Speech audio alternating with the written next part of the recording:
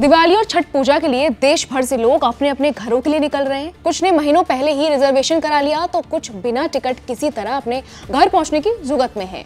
इस बीच महाराष्ट्र में मुंबई में बांद्रा रेलवे स्टेशन पर अफरा तफरी मच गई। इस भगदड़ में नौ यात्री घायल हो गए, जिनमें से दो लोगों की हालत गंभीर बताई जा रही है। रिपोर्ट्स के मुताबिक बांद्रा से गोरखपुर जाने वाली ट्रेन संख्या बाईस नौ यात्रा करने के लिए आए। लोगों की भीड़ इतनी थी कि भगदड़ मच गई।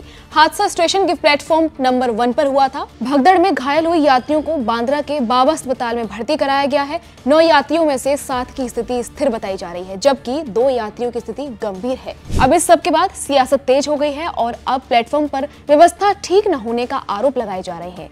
रेलवे प्रशासन पर आरोप लगा है कि स्टेशन पर सुरक्षा के इंतज़ाम नहीं है। प्लेटफॉर्म पर कुछ आरपीएफ जवान मौजूद हैं जो कतार में लगाने का अनुरोध करते हैं। हालाँकि ट्रेन आने पर कोई लाइन नहीं दिखती। ट्रेन लोग ट्रेन के कोच में घुसने के लिए एक दूसरे पर चढ़ने लगते हैं।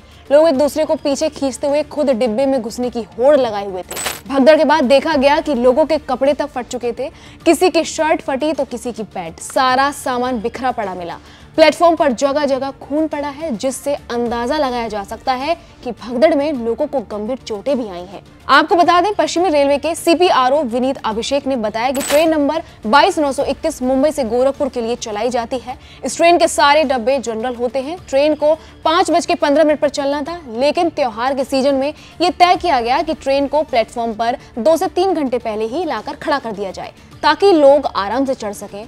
हालाँकि प्लेटफॉर्म पर आने से पहले ही लोगों ने गाड़ी में चढ़ना शुरू कर दिया रेलगाड़ी चालू हालत में थी, जब लोगों ने उसके अंदर चढ़ना शुरू किया, जिसकी वजह से ये हादसा हुआ सीपीआरओ विनीत अभिषेक ने यह भी बताया कि पिछले साल के मुकाबले इस बार कई ज़्यादा हॉलीडे स्पेशल ट्रेन चलाई गई हैं।